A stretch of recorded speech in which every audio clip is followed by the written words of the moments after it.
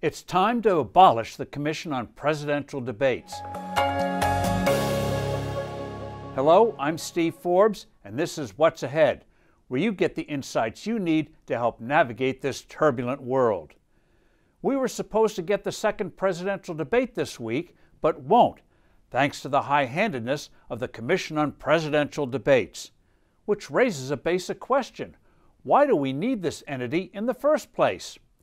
Early in the morning, a little over a week ago, the Commission abruptly announced that this debate would be virtual it never consulted with the two political parties, certainly not with the President of the United States, although there are suspicions it might have done some backstage whispering with particular Democrat officials.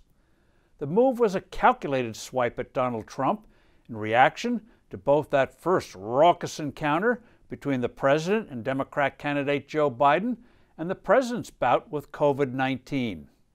An offended President immediately and publicly told the Commission to take a hike, either host a verbal joust using the format and rules the two parties had previously agreed to, or no debate at all.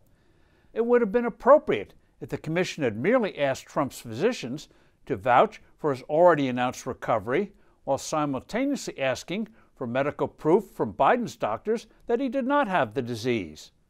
When Trump demanded it stick to the original agreement, the Commission arrogantly canceled the debate.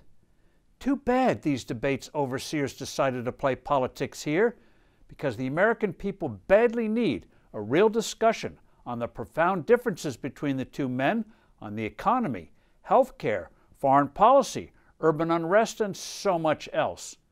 The Commission was created over 30 years ago as a nonprofit by the two political parties to sponsor and produce debates for major presidential and vice presidential candidates. It gets funding from foundations and corporations. That eagle you see in the background of the debate stage is actually the symbol of Anheuser-Busch, brewers of Budweiser beer.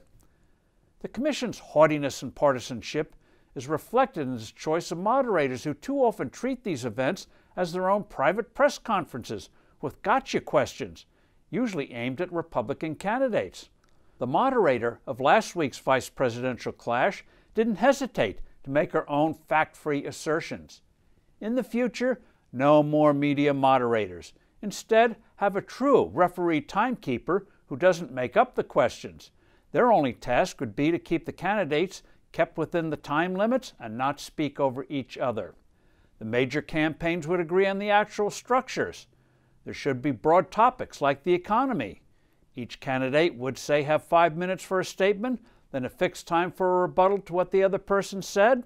After those exchanges, each contestant would have the opportunity to ask the other a question or two. Let the candidates themselves make their cases and then probe each other. The voting public would be better served. I'm Steve Forbes. This is What's Ahead. Thank you for listening. Do send in your comments and questions. I look forward to being with you soon again.